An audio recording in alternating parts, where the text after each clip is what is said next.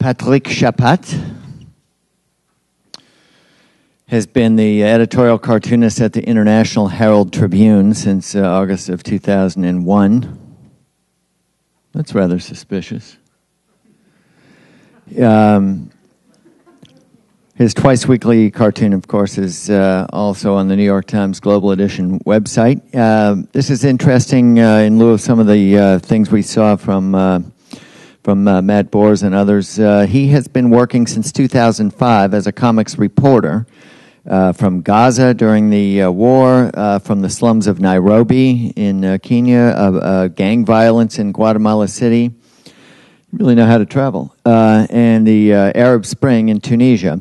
In uh, last year, he turned one of those uh, cartoon reports into an animated film, featured on uh, TV and in uh, international documentary festivals.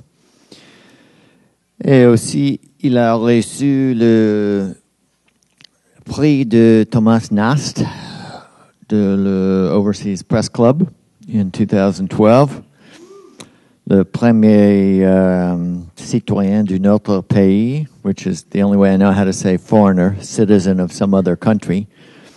Uh, the first foreigner to receive that prize. So, uh, Patrick, welcome, and uh, we're happy to have you here.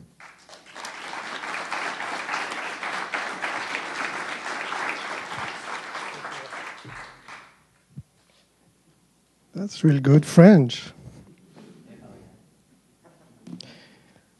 So yeah, I come from a, a place called uh, you know the rest of the world, overseas. I live in Geneva, Switzerland. So if you have any question about Swiss banks, uh, come to me. If you want to close down that embarrassing Swiss bank account, you just come to me after that. I can give you some advice. And uh, I was born actually in, uh, it gets worse, you know, when you talk about August 2001. I was born in, in Pakistan. Um, my mother is Lebanese. So I'm like the axis of evil, me alone.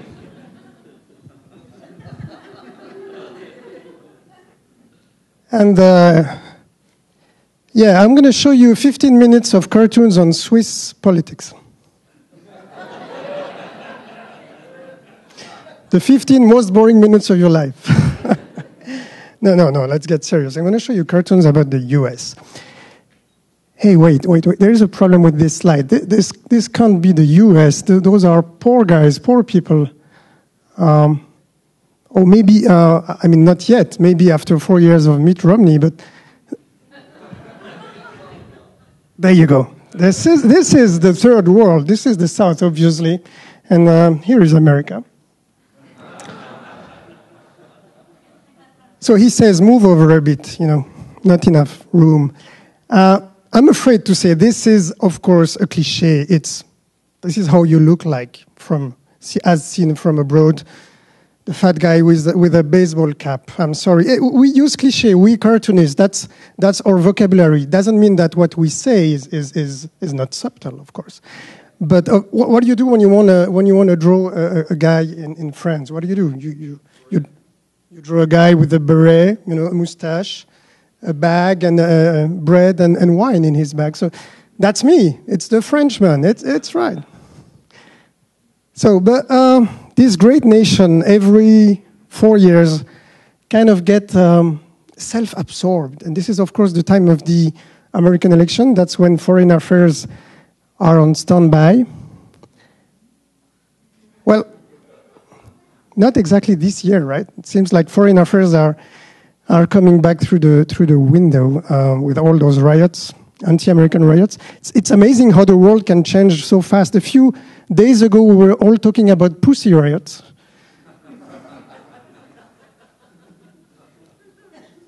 okay, uh, you have no idea how we, the rest of the world, we are following closely the American election. The only thing missing is the right to vote, actually. Four years ago, for sure, the, vote, the, the, the world would have voted Barack Obama. He was the Messiah. He was, he was Jesus. But back then, we knew already how tough it would be, you know. There would be so many miracles to accomplish. Yeah, got on a bad start. But we liked uh, Barack Obama from the start. We liked the way he talked to us, the rest of the world. All this talk of soft power. He tried to make friends with Iran, if you remember.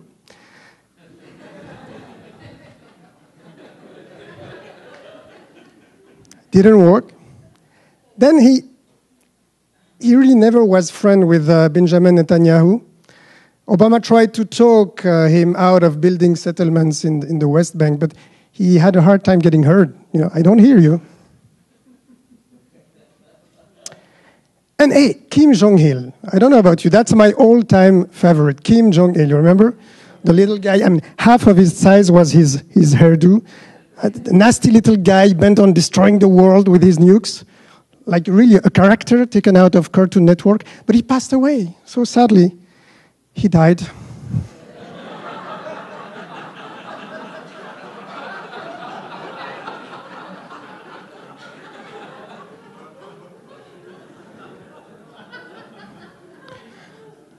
I loved him. In 2009, Obama got the Nobel Peace Prize, and here he is, uh, three years after that. He's looking at that prize and thinking, if only I had received the Economy Prize.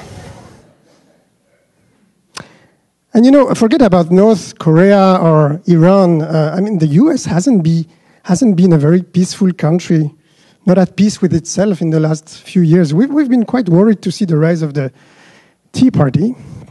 Going to take America back, century back. And here comes Mitt Romney. He's riding this big, uh, angry animal. And where are they going? They're going, of course, to the right. Should the rest of the world be worried? China is a bit worried. And of course, we're all worried about the economy. Uh, especially one man has to be worried about it. Yeah, those are a few uh, cartoons. But what I want to talk about today is the other side of my job, what you mentioned. Uh, comic journal, uh, there is no real word for that. Is it comic journalism, ca cartoon reporting? Uh, in Europe, we even say graphic uh, journalism. What, what should we say? I'm, I'm not sure. Um, I've been doing that, as, as, as, as has been said, for the last uh, 15 years, in parallel to my work as politi political cartoonist. And my stories have been published in newspapers like the International Herald Tribune and Le Temps in Geneva. Let me show you. There, there, was a story that just came out uh, on Monday. It was over three days. See how the newspaper, um, this is Le Temps in Geneva. So this one is about urban violence in Guatemala. It's just, you have no idea how, how bad it gets over there. And this is how they... So typically, they would give me full pages of the newspaper. Th those were six full pages over three days. Um, I'll show you two more.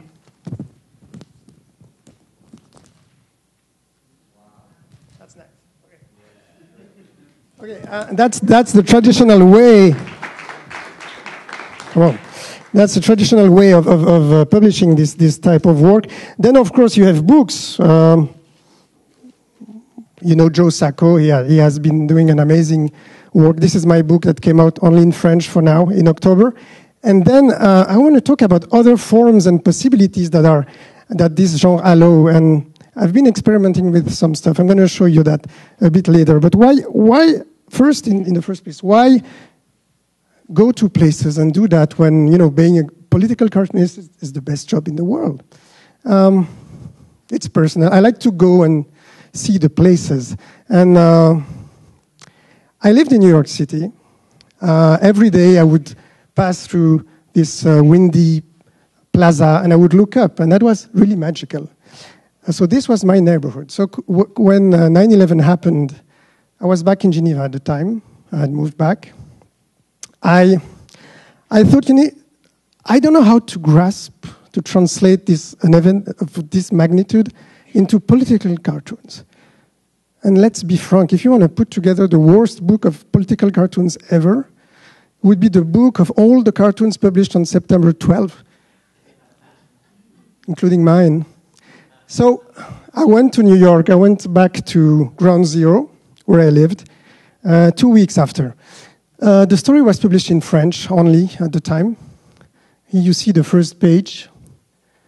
And you know, I think the, we're zooming in. The, the, the beauty of comic journalism is really it gives the reader the ability to pause and to really look with zooming in and to really see the details. And I think that's, that's the amazing power of the simple drawing if you compare it you know, to, the, to the complexity of photography or to the fast pace of video. It allows you to see things. Then in 2009, I went to South Lebanon to, for a story. Uh, that was two years and a half after a war between Israel and the Hezbollah. Not many people know that, but in the last days of that war, millions of cluster munitions were dropped on that region. And very often, those uh, cluster munitions, they, they, they, didn't explode. They were old.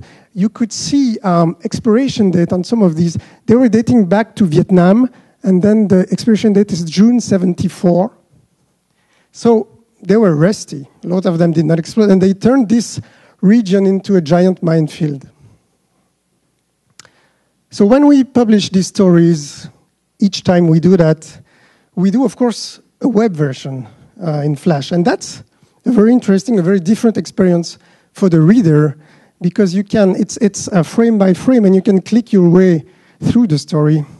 This is um, in the middle of that same story in South Lebanon. I am uh, in the house of a young woman of 19. Her name is Rasha. She's a victim. And uh, in her case, it's amazing. She didn't even step on a cluster munition. Uh, it's the bomb that came to her house. Her father had come home with a sack of thyme leaves, you know, spices, and the family was gathered around the sack. And then she plunged her hand into the, into the bag, and she felt something cold. She dropped it, and it exploded. So the teenager was the only one hit. The bomb took her left leg, and she says, You know, when I go to bed, my leg hurts, the missing one. I feel it as if it was still there. So you click from one frame to the other. I wish, I wish I was like everyone else.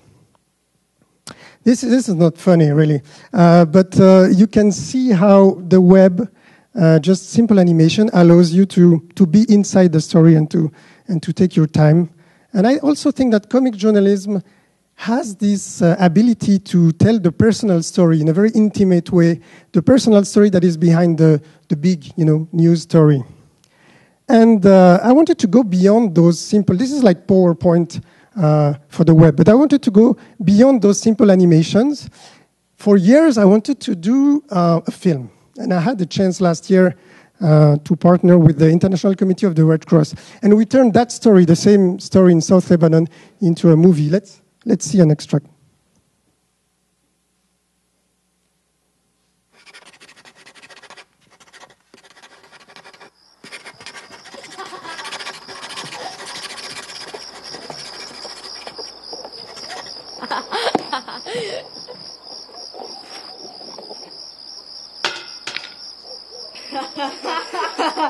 That day, the boys didn't do as they were told. Ashraf, 12, and Khader, 13. Instead of staying on the road, the brothers took the path through a forest. They were looking for pine cones when their wheelbarrow hit a stone. Ashraf, the younger boy, picked it up.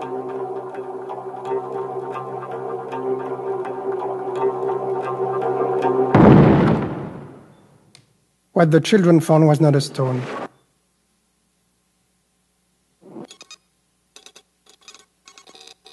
Ashraf died. His brother survived, but was wounded in the stomach.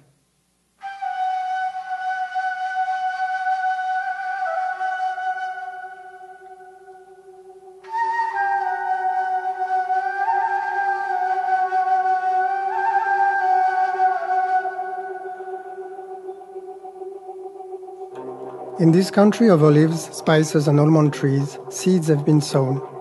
These seeds are made from metal. Instead of giving life, they take it. They are cluster munitions. Okay. Thank you.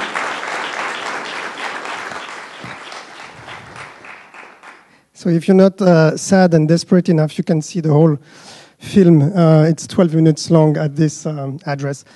And uh, this one, so it was it was aired on TV. I was very proud. It was aired on Swiss TV a Sunday night in a segment like 60 minutes. It was shown on Canal Plus and on a German channel. Um, it, as we said, it toured a few documentary festivals, including here in Washington. Got a prize in Australia.